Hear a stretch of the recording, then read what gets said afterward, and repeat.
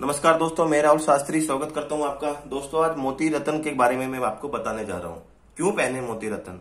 कैसे आपको फ़ायदा होगा मोती रतन पहनने से? किस कंडीशन में पहने? देखिए, मोती रतन के बारे में मैंने वीडियो ऑलरेडी बना रखी है बट आप लोगों के मेरे पास रिस्पॉन्स आए कमेंट्स आए तो मैं आपको अच्छी तरह से समझाने के लिए एक वीडियो मैंने और बनाई है। देखिए, विधि कैसे होती है? पहनने की, कब पहने, कैसे पहने, किस धातु में पहने।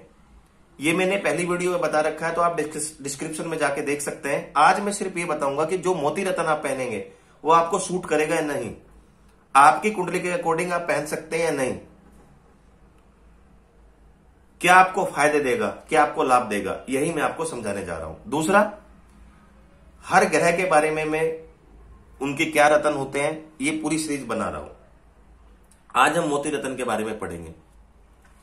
दूसरा, आप में से बहुत सारे लोग मुझे कहते हैं कि, शास्त्री जी, हम कौन सा रतन धारण करें? आपके पास रतन है क्या? देखिए, मैं रतन नहीं रखता हूँ। मैं एस्ट्रोलॉजर हूँ। मैं सिर्फ़ आप बता सकता हूँ कि आपकी कुंडली के माध्यम से आपके लिए कौन सा बेस्ट रतन रहेगा। कौन सा आपके भाग्य उदय करेगा? कौन सा रतन आपके लिए बेस्ट है? मैं ये बता सकता हूँ, मैं रतन नहीं रखता। और सरल तरीके से आपको भी समझाने जा रहा हूँ ताकि आप भी सरल तरीके से समझ सके। मोती रतन के बारे में समझाने जा रहा हूँ। मोती रतन से पहले आप समझिए चंद्रमा को, क्योंकि चंद्रमा, मोती चंद्रमा का रतन है। और मोती पहनने से चंद्रमा की विशेषताएँ आती हैं। चंद्रमा किस चीज़ का कारक है? तो चंद्रमा मन का कारक, माता का कारक, मानसिक स्थिति का कारक, मनोबल का कारक दर वस्तु का कारक, प्रसन्नता का कारक, जलस्य यात्रा का कारक, सुख, शांति, धन, समृद्ध, संपत्ति का कारक, शरीर में तरल पदार्थ, शरण में शरीर का तरल पदार्थ, और साथ साथ छाती, दिमागी परेशानियाँ और महिलाओं के मासिक चक्र इत्यादि का कारक होता है। अब आप ये समझ लीजिए, मोती रतन की विशेषताएँ क्या होंगी? तो देखिए मोती किस चीज़ का कारक है?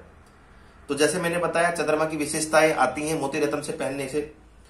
तो मन को शांति मिलती है कॉन्फिडेंस बढ़ता है। काल पुरुष काल पुरुष कुंडली के हिसाब से चौथा भाव मिला हुआ है, चंद्रमा को चौथा भाव तमाम सुख को दर्शाता है। तो सुख की दृष्टि से मकान वाहन का सुख, क्रिएटिव चीज़ों के लिए, खाने पीने, अगर आप कोई काम करना चाह रहा हो तो समुद्र, समुद्री चीज़ों का व्यापार या खाने पीने की चीज़ों का व्यापार, चांदी का व्यापार लिक्विड चीज़ों का व्यापार तो इसमें जातक को बहुत फ़ायदा होगा।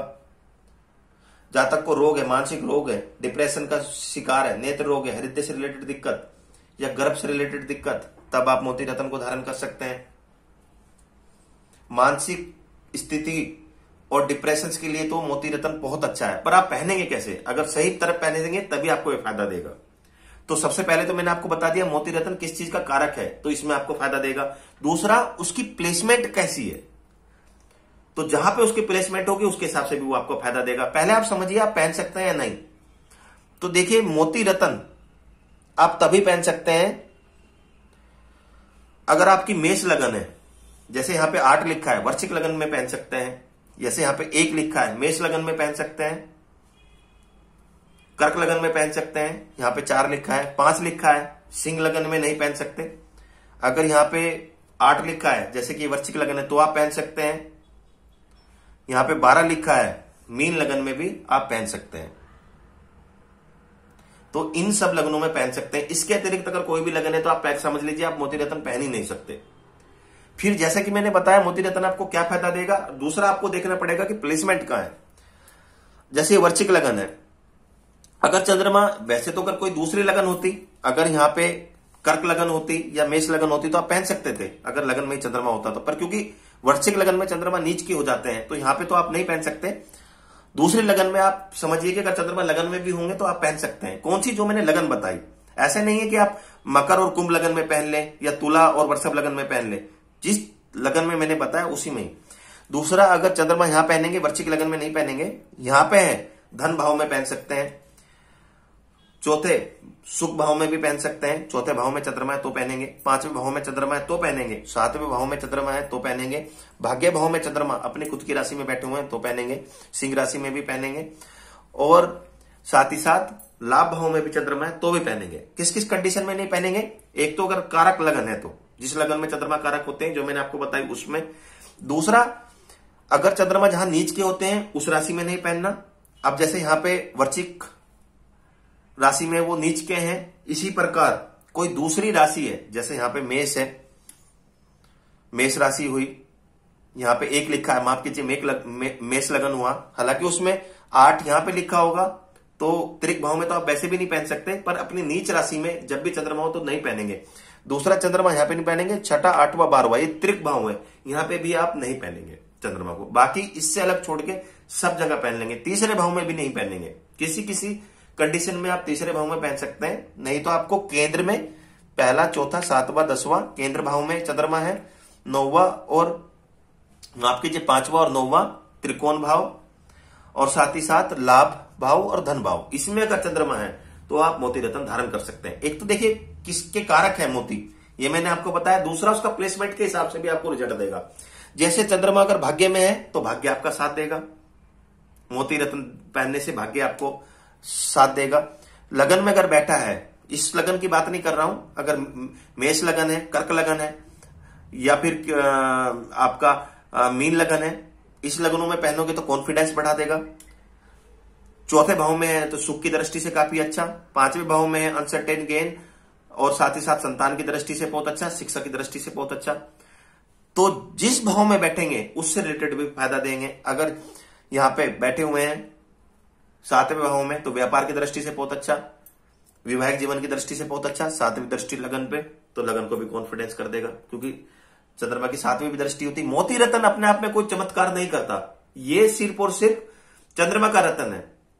चंद्रमा को बल देगा। दूसरी चीज़, आप देखिए कब ज़्यादा ज़रूरी है? देखिए 12 से 16 हर ग्रह का ज़ीरो से 30 के बीच में डिग्री होती है। कोई अगर चंद्रमा 12 से 16 के बीच में है तो मोती को पहनो ना पहनो, कोई फ़र्क नहीं पड़ेगा। क्योंकि चंद्रमा अपना 100 परसेंट रिज़ल्ट देंगे ही देंगे। मोती रतन तभी पहनिए जब उनका लगन अच्छी है, जिसमें वो कारक होते हैं और चंद्रमा का पोजीशन भी अच्छा है, यानी प्लेसमेंट भी अच्छा है, पर उनमें ताकत नहीं है। वो ज़ीरो से छह बाल अवस्था चौबीस से तीस मर्त अवस्था में है। तो मोती रतन पहनिए, फिर आपको चंद्रमा अच्छे रिज़ल्ट देगा। तो इस तरह से आपको देखना है। दूसरा, चलित कुंडली को भी देख लीजिएगा। कभी कभी क्या होता है, लगन कुंडली और चलित कुंडली ज़्यादातर ग्रह एक जैसे होते हैं, पर अगर चलित कुंडली में कोई ग्रह छठे आठवें, बारहवें में आ गया, तब भी आप मोती रतन मत धारण करिएगा। तो दोस्तों, आज मैंने बहुत सरल तरीके से आपको बताया अपनी दूसरी सीरीज़ के अंदर। कि कैसे आप मोती रतन को धारण कर सकते हैं? अगर आपको विधि, कब, कैसे, धातु, ये सब चीज़ें पहुँच देखनी है तो डिस्क्रिप्शन में जाके लिंक दिया हुआ है, वहाँ पे आप देख सकते हैं। तो धन्यवाद मित्रों, आपको मेरा वीडियो अच्छा लगा होगा। अगर अच्छा लगा होगा तो लाइक सब्सक्राइबर सब्सक्राइब और शेयर करना मत भूलिएगा। धन्यवाद।